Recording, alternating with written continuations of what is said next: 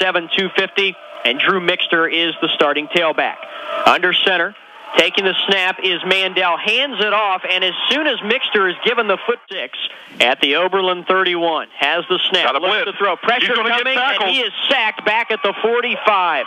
Jake, a little bit. Zoller under center, I formation, two receivers left. Toss sweep on the pitch to the right side. It's where I 20, go. 15, 10, 5. He's going to score into the end zone.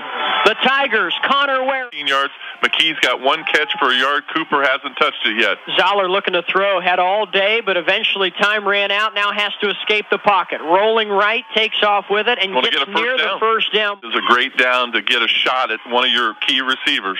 It is Zoller throwing for McKee in Oberlin territory. Makes the catch inside the 40. Three receivers to the left, two to the right. Empty backfield. Zoller takes the shotgun snap, throws the underneath screen to Cooper. Has it. 20, 15, middle of the field, and now works his way towards. So Zoller from the shotgun. Four receivers, three to the left. He rolls left. Now throws down the field for McKee. Got it! Got it for the touchdown. Josh McKee got behind the defense. Mandel falls back into the shotgun, and they spread out. The receivers do. Five of them. Blitz. Three to the left. They're Looking coming. Throw. Middle of the field. Throws to the ground. Catches made by Witches for the touchdown. Robin Witches went down to get it three yards deep in the end zone. Offense.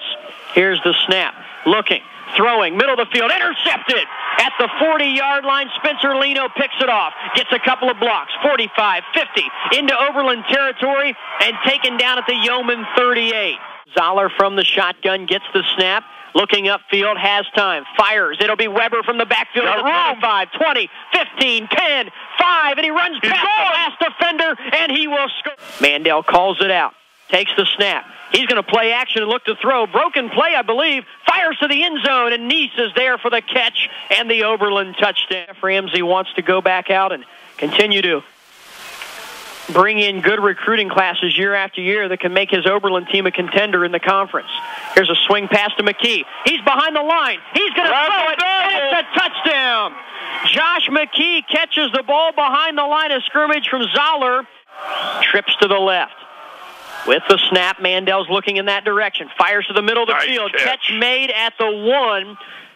Joining his former high school teammate Josh McKee doing some damage. Here's a toss. Weber's right gonna go. Weber to the goal line. Touchdown, Tigers.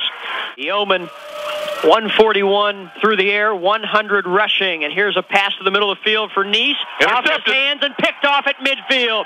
Adam Nice had it go in and out of his hands, and it fell from his fingertips out of the hold of Josh McKee. Ball spotted for the right hash mark. Kick is away, has the distance, of course, and it is good.